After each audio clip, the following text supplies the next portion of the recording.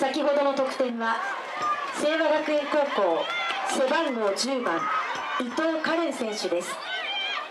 これにより3対2となり清和学園高校がリードしました。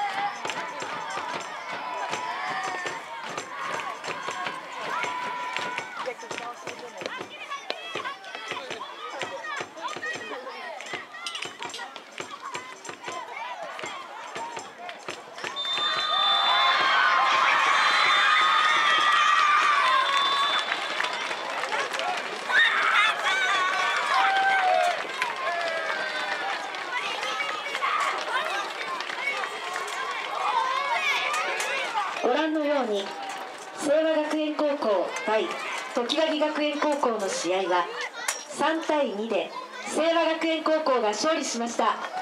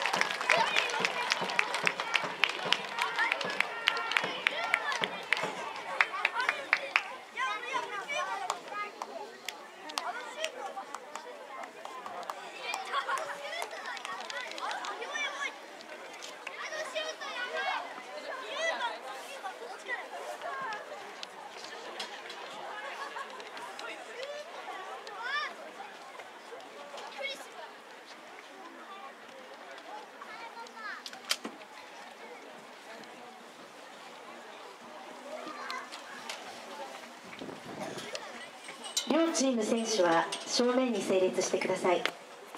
まもなく表彰式が行われます。